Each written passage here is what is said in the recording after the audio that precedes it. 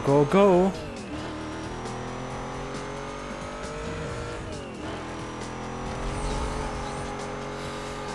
So, wieder beruhigte Mautstellenrennen. Zur Beruhigung. Wie geht's euch denn so? Was habt ihr heute so gemacht? Schreibt's doch mal in die Kommentare, die ich wahrscheinlich nicht lesen werde.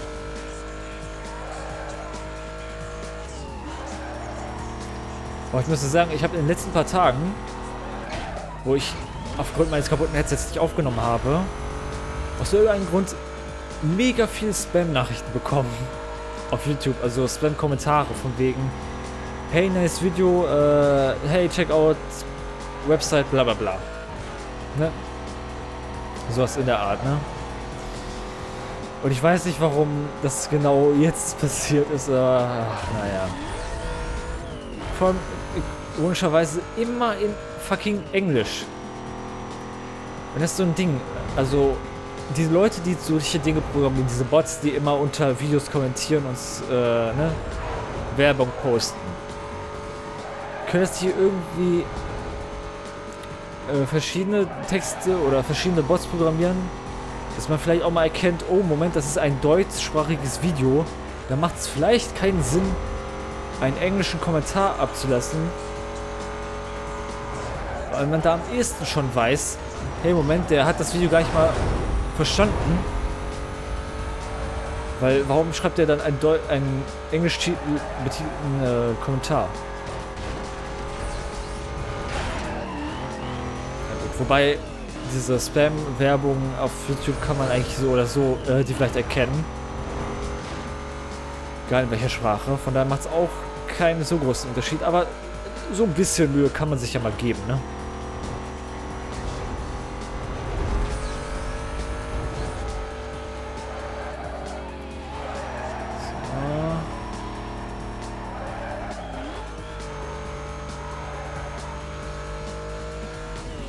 Oh, Moment, ich glaube, wir müssen ein bisschen Gas geben. Die nächste Mautstelle ist ein bisschen entfernt. Oh, okay, wir fahren gleich geradeaus lang. Dann, dann bin ich gespannt, wo die nächste ist.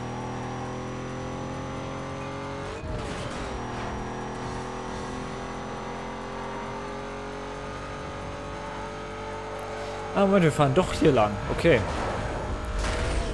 Nur durch einen kleinen Umweg. Na, das war die Mautstelle, die ich gemeint habe.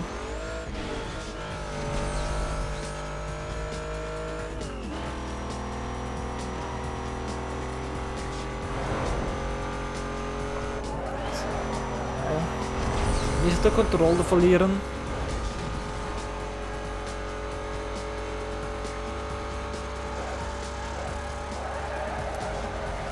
Wie gesagt, da werde ich oh, nochmal gucken, dass ich das irgendwie regle, dass ich irgendwie wieder die Xbox-Buttons im Spiel sehen kann. Weiß irgendwie keine Ahnung. Ist auch nur eine Kleinigkeit, aber ich werde mal schauen. Und wenn man notfalls das Spiel nochmal neu installieren muss, warum nicht? Ich meine, ich habe es tatsächlich zum, um, weil ich ja Probleme hatte und das Spiel irgendwie nicht mehr äh, laufen wollte, muss ich das Spiel irgendwie, ähm, ich weiß nicht, wie oft genau. Ich glaube dreimal neu installieren. Weil irgendwie mir wurde die ganze Zeit angezeigt, uh, please insert disk, obwohl die Disk von Most Wanted die ganze Zeit drin war. Ich mache mal wieder die Headsets ein bisschen anders. So. Also obwohl die Headsets von, äh, die Headsets sag ich schon, die CD von Most Wanted die ganze Zeit drin war, äh, wurde die ganze Zeit gesagt, bitte packen Sie mal bitte das Headset, äh, ja, wie das Headset, ähm, die CD von Most Wanted rein. Und deshalb, wie gesagt, ich muss das Spiel dreimal neu installieren. Weil ich musste natürlich diese die Patches wieder drauf machen und so. Und ach, das dauert zu lang, um das zu erklären. Aber, naja.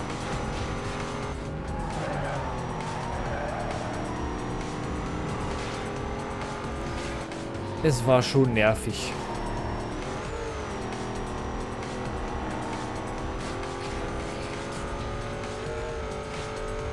So, äh, Moment, ich mach das mal lieber. Das, sorry, übrigens, dass ich die ganze Zeit das Headset irgendwie richte und so. Aber das, wie gesagt, es ist mega ungewohnt, dass ich mich nicht hören kann. Äh, deshalb mache ich das... Ah, jetzt habe ich das tatsächlich richtig aufgesetzt, auch wenn ich mich genau jetzt nicht mehr hören kann. Oder nicht mehr so gut.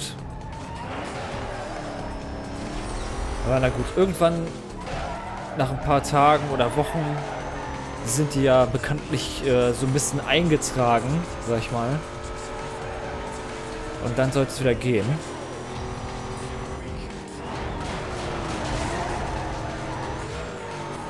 So, oh, vor allem wird es jetzt so warm. So ekelhaft fucking warm. Oh, shit. Okay, das war nicht so gut. Das ist K.O.-Rennen. Das ist ein K.O.-Rennen, fällt mir gerade mal ein. Oh, scheiße! Ach, das ist nicht euer Ernst. Zum ersten Mal beim K.O.-Rennen rausgeflogen. Es war aber auch scheiße dämlich, dass ich da umgekippt bin.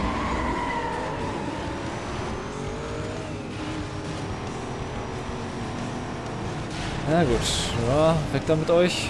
Ist da Ne, ich dachte schon, da wäre ein Gallardo im Rennen. Also, nee, ein Lamborghini meine ich eher.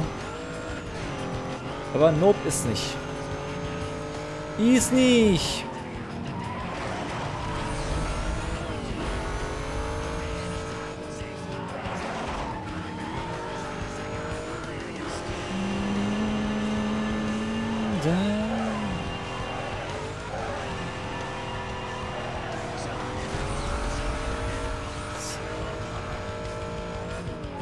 Also merken, vielleicht gleich nicht den gleichen Fehler machen an der einen Stelle.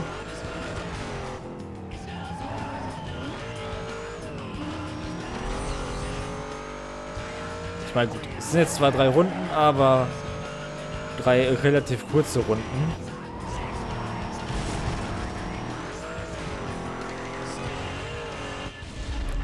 So, diesmal bin ich nicht schräg hier angeflogen gekommen. Deshalb funktioniert's. So, die müssen schön auslang fahren. Am Water Tank vorbei. Okay. Ah, wenn man... Oh, no. Ja, da ist der Vorsprung auch wieder weg.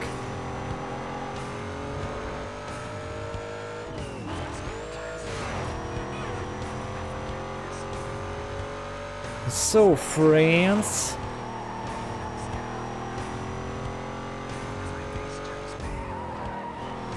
Ihr wollt also mit euch, äh, mit euch mir anlegen. Genau, Yoda ich sein.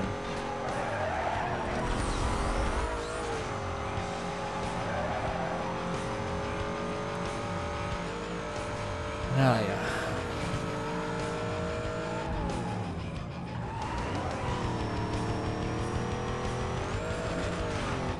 Es könnte leider wieder gleich knapp werden. Ich meine, die sind nah dran.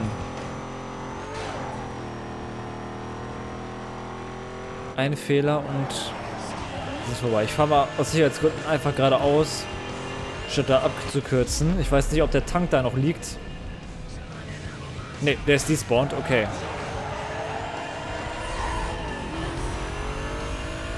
Na gut. Gut zu wissen, das heißt, wir können nächste Runde da lang fahren.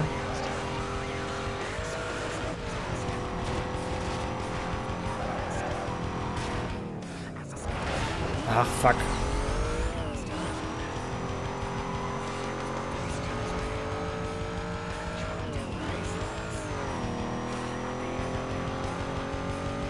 Ah, ich weiß es nicht mehr. Wann hat man nochmal neues Nitro bekommen? Mir fällt gerade auf, ich hätte gern ein bisschen Nitro, was sich schneller auflädt und so. Es wird hier schon relativ eng und so.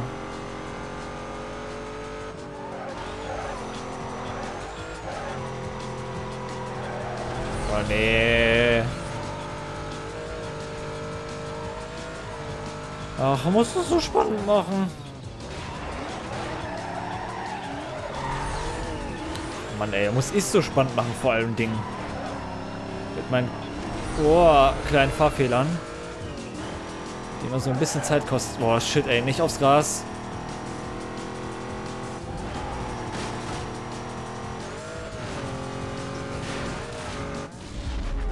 So, er ist rechts von uns. Okay. Ich wollte jetzt... Ich bin jetzt ein bisschen vorsichtiger da durchgekommen, weil ich wollte mich nicht überschlagen wieder. Also lieber so ein bisschen vorsichtig. Hauptsache man kommt durch. Alle Rufzeichen. Ihr bekommt gleich... Ja, ja, ja, leck mich du. Ah, noch ein K.O.-Rennen. Ja, es ist aber eine noch kleinere Runde, glaube ich, oder? 11 Kilometer? 11, okay. Angeblich die gleiche Distanz. Das kommt mir kleiner vor, das der Kurs.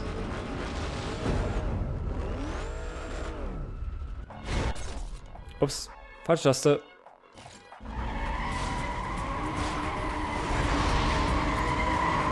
So. Alter Vater, ey, die Konkurrenz, ey. Ich komme mir ein bisschen unter, underpowered vor. Ich meine, nicht gegen den Supra, denn der Supra ist schon in unserer Kampfklasse, aber der Rest... Ja, wobei der Porsche auch, eigentlich. Aber nicht der McLaren da hinten. Nee, nee, nee. Komm, jetzt wo wir schon langsam sind.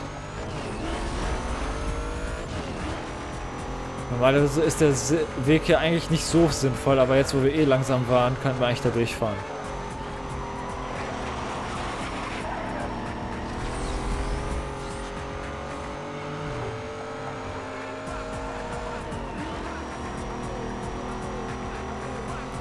Vom Kurs her gefällt mir das schon auf jeden Fall besser als das Rennen gerade eben. Ich weiß nicht warum. Finde ich irgendwie angenehmer zum Fahren.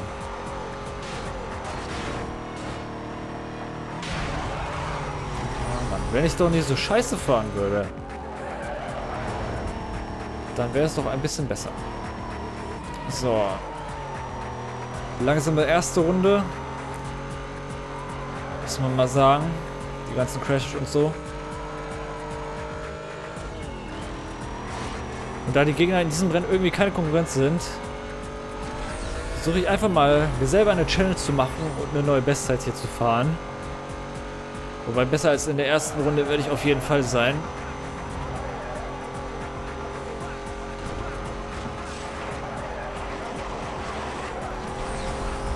Das verlangt ein bisschen Focus und Concentration. Das sind Dinge, die ich leider nicht habe.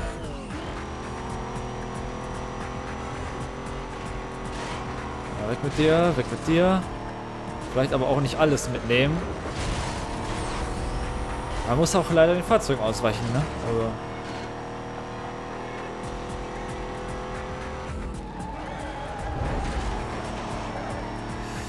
1-3. Ob man es in unter eine Minute schafft, eine Runde, das wäre mal was, was ich gerne herausfinden würde.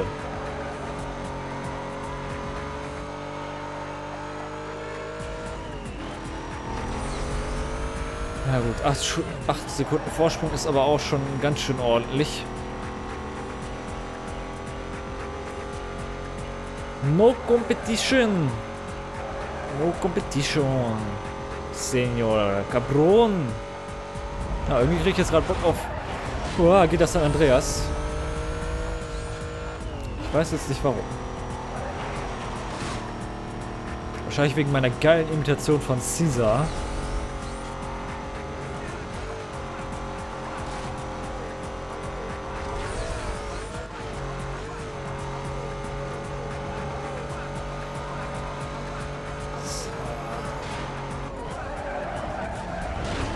Na gut. Das war nicht besser. Ich gucke jetzt ausnahmsweise mal auf die Statistiken. Äh, hier. Rundenabweichung 11. Hä? Okay. Also nicht die beste Runde, ne? Ja, fuck. Warum? Warum nicht? Oh, shit. So, Rennen. Machen wir noch die letzten ja, drei und dann widmen wir uns den Meilenstein.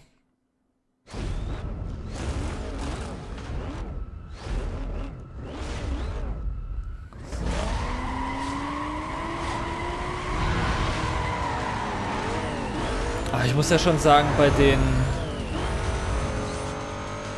Bei der Verfolgungsjagd nachher bei, mit den Cops, also wahrscheinlich in der nächsten oder übernächsten Folge, Da habe ich schon ein bisschen Angst vor.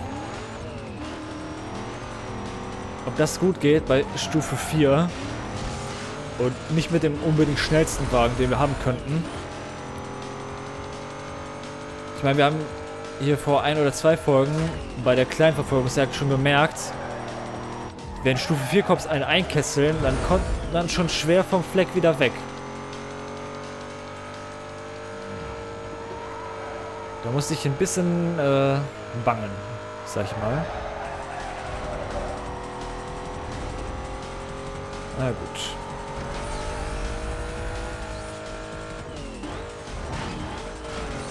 Vielleicht, vielleicht funktioniert's ja.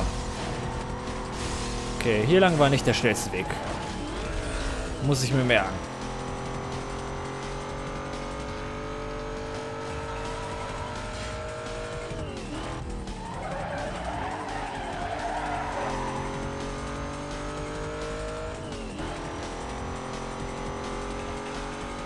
Da fällt mir ein.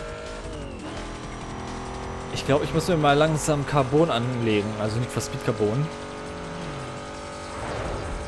Denn ich habe ja eigentlich, ehrlich gesagt, gerne vorgehabt, nach Need for Speed Most Wanted Need for Speed Carbon zu spielen nochmal. Und das dann wahrscheinlich auch zu Let's Playen und so. Von daher... Mal schauen. Wir sind ja schon relativ weit im Spiel, schon bei Blacklist Nummer 6. Wobei, ein bisschen haben wir noch vor uns, muss man einfach mal sagen.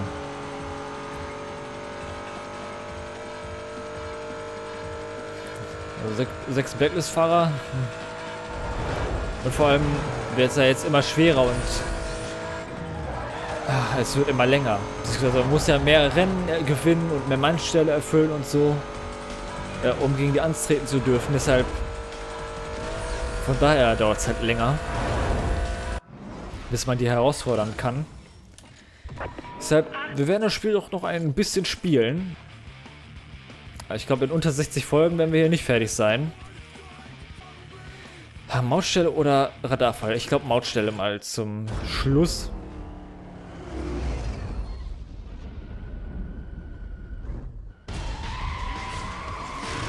Ah, worauf ich mich echt nicht freue. Es wird sein, dass wahrscheinlich bei Need for Speed Carbon, sehen wir auch hier bei Need for Speed Most Wanted, äh, kein Widescreen-Support da sein wird. Das heißt, äh, für diejenigen, die es nicht wissen, man kann Need for Speed Most Wanted nicht in 1920 x 1080 äh, aufnehmen, weil das Spiel nur irgendwie 1000 äh, noch was äh, mal noch was ausgibt. Und die einzige Option, wie man Full HD Auflösung haben kann, ist durch so ein ja durch eine Mod quasi durch diese Mod kann man auch einstellen, dass man Controller-Buttons angezeigt bekommt und so. Und äh, ja, von daher, ne, da das durch das ein bisschen älter ist, ist dieser Support für Controller und generell für neuere PCs ein bisschen mangelhaft. Ich meine, EA, die sind nicht dafür bekannt, dass die ältere Spiele unbedingt äh, patchen, bis die funktionieren, sondern eher ja, zum neuen Voranschreiten. Und ich wette, da Speed Carbon ja nur ein Jahr neuer ist als Most Wanted, wird wahrscheinlich auch dort keine Full HD Auflösung dabei sein und vielleicht auch kein Controller Support, wobei Controller Support könnte ich mir vielleicht noch vorstellen, dass es doch noch drin ist. Äh, shit. Ah, na gut. Ist eigentlich relativ schnell installiert. So ist es nicht. Aber ah, dennoch, dass man da nicht irgendwie... Vor allem traurigerweise wird äh, Need for Speed Most Wanted auch nicht auf Origin irgendwie angeboten, dass sie das auch ordentlich patchen und so und automatische Updates kommen. Sondern ist es auch noch, äh, ja, ohne irgendwelche, das ist nicht Steam oder Origin oder sonst was gebunden halt. Ich weiß ja noch damals, äh, habe ich von vielen gehört, so um die Zeit von Half-Life 2, wo zum ersten Mal Steam angekündigt wurde, oh, also wo es noch nicht Steam richtig gab, sondern mit Half-Life 2 musste man sich ja Steam zwangsweise installieren und sich da anmelden und so. Und das hat damals die Leute, wie ich mitbekommen habe, ich war ja 2004 nicht unbedingt äh, äh, aktiv, was PC-Game angeht. Da habe ich noch meine kleine PS2 gehabt und so. Wobei 2004 habe ich gar nicht mal richtig gezockt tatsächlich. Das war erst so 2006 oder so, ein, zwei Jahre später. Ähm, auf jeden Fall haben sich viele darüber aufgeregt, dass man Origin installieren musste. Äh, nicht Origin, Steam Half-Life 2. Äh, und mittlerweile ist Steam ja gang und gäbe. Mittlerweile wird sich darüber aufgeregt, wenn ein Spiel nicht auf Steam ist, sondern auf Origin oder Uplay oder sonst welche anderen Plattformen. Aber ich finde diese Plattform schon irgendwie ganz gut und so. Wenn man so seine Spiele auf einer Bibliothek und so hat, finde ich irgendwie ein bisschen besser, als die so als CD zu haben. Ich weiß, viele finden das so ein bisschen nostalgisch und so, aber irgendwie, es ist, ich, ich finde es auch ein bisschen geil, so die als Verpackung irgendwie im Regal liegen zu haben, aber es ist nicht so praktikabel und sowas, ne? muss man einfach mal sagen. Deshalb lieber äh, über die Online-Mediathek. So, ich glaube, wir haben noch einen Rennen übrig. Nicht ein Rodolphon-Rennen. Das machen wir mal eben. So, hoffentlich diesmal beim ersten Mal erfolgreich. Und nicht nach dem vierten Mal.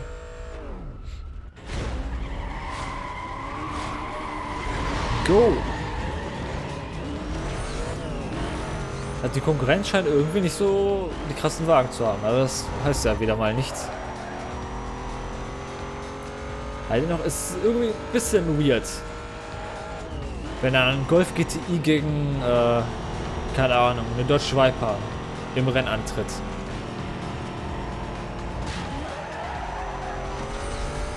So, diesmal fahren wir nicht durch die Bushaltestelle. Weil die ist bekanntlich ja gar nicht mal so schnell.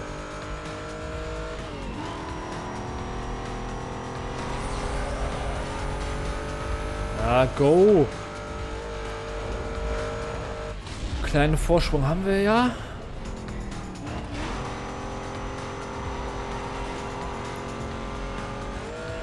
Dennoch Konzentration. Ah, shit.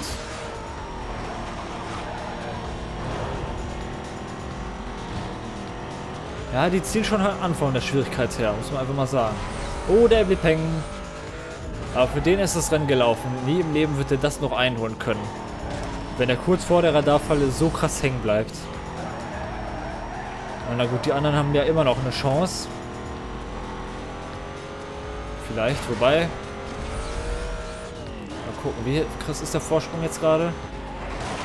Ja, okay, 100 km/h, das ist eigentlich gegessen.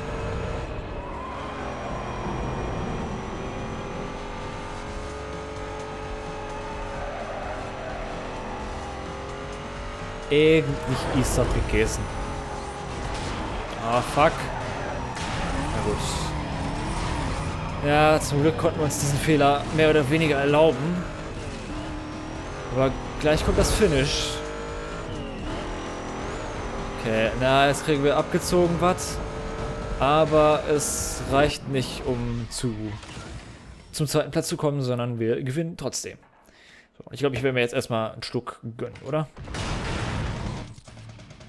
Wir haben ja jetzt alle Rennen, ne? Gut, bevor ich mich jetzt den Main stelle, werde ich erstmal ein kleines Stückchen trinken.